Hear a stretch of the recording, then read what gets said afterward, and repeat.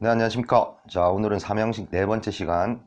자, 전체 문장 구조는 주어 동사 뒤에 명사가 오고 뒤에 전치사 플러스 명사, 전명구가 자리하는 구조인데 여기서 동사하고 명사하고 전치사가 하나의 수고로 동사 역할을 하고 전치사 뒤에 있는 명사가 목적어 역할을 하는 그런 문장 구조를 저희가 한번 훈련을 해 보겠습니다.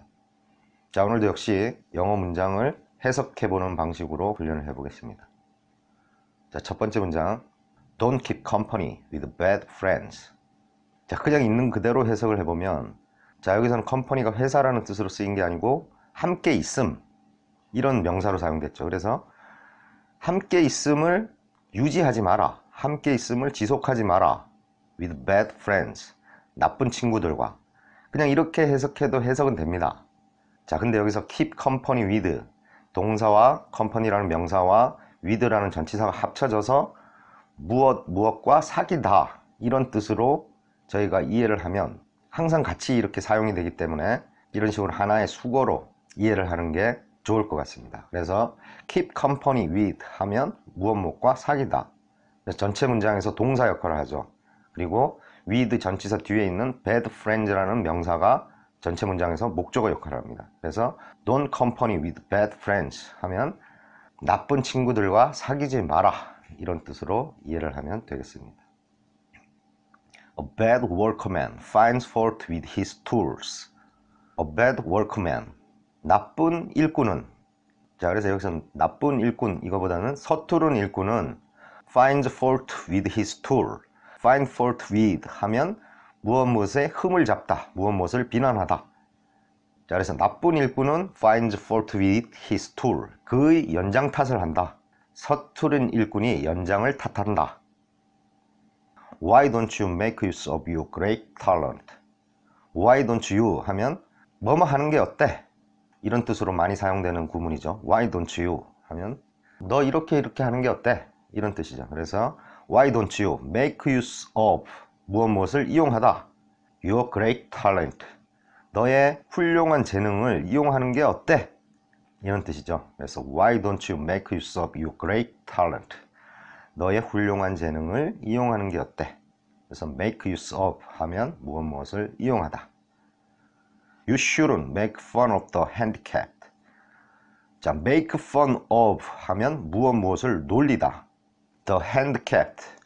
핸드캡 하면 장애가 있는 이런 뜻이죠. 그래서 형용사인데 앞에 더가 붙어서 장애가 있는 사람들. 그래서 장애인들. You shouldn't make fun of the handicapped. 너는 하면 안 된다. 장애인들을 놀리는 걸. 그래서 너는 장애우들을 놀리면 안 된다. 이런 의미죠. I'll take part in the next meeting in a private capacity. take part in 무엇 무엇에 참가하다. 그래서 I'll 나는 take part in the next meeting 다음 모임에는 참가할 것이다. will이 들어가 있으니까 참가할 것이다. In a private capacity 개인 자격으로 I'll take part in the next meeting in a private capacity 나는 다음 모임에는 참가하겠다. 개인 자격으로 자, 그래서 take part in 하면 무엇 무엇에 참가하다. We take pride in offering you the highest standards. We, 우리는 take pride in 무엇 무엇을 자랑하다, 무엇 무엇을 자랑스럽게 여기다 이런 의미입니다. 그래서 take pride in offering you 너에게 제공하는 것을 자랑스러워한다. 무엇을 제공하냐면 the highest standards 최고의 수준을 너에게 제공하는 것을 우리는 자랑스럽게 생각합니다. 이런 뜻이죠. We take pride in offering you the highest standards. 우리는 여러분께 최고의 수준을 제공해 드리는 것을 자랑스럽게 생각합니다. 그래서 take pride in 무엇 무엇을 자랑스럽게 여기다. 무엇 무엇을 자랑하다. take care of your health above all things. take care of 무엇 무엇을 돌보다. 무엇 무엇을 주의하다. 이런 의미입니다. 그래서 take care of your health. 너의 건강을 돌보아라. 너의 건강을 주의해라. 건강을 조심해라. 이런 뜻이죠. above all things. 무엇보다도. 그래서 take care of your health above all things. 무엇보다도 너의 건강을 유의해라.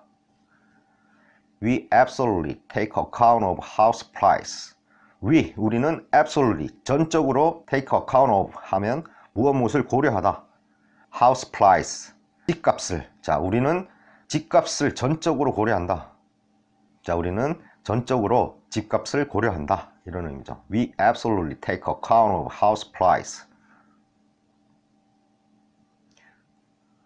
Parents can keep track of children using smartphones.